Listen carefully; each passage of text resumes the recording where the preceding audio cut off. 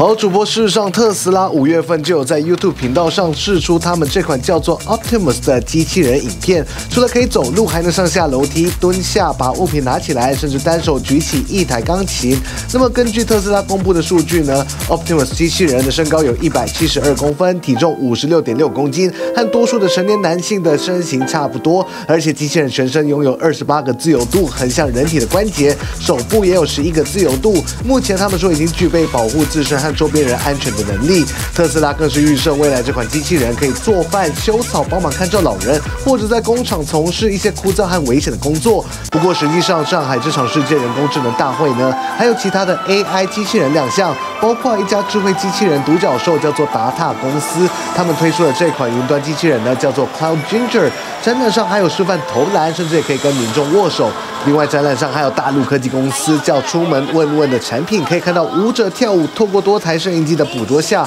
背后的动画也会跟着模仿动作。至于其他科技公司，包括百度、阿里巴巴、华为等等，也都没有缺席，纷纷都展示自己的最新 AI 产品。以上主播，想看最完整的新闻内容，记得下载 TVBS 新闻网 APP。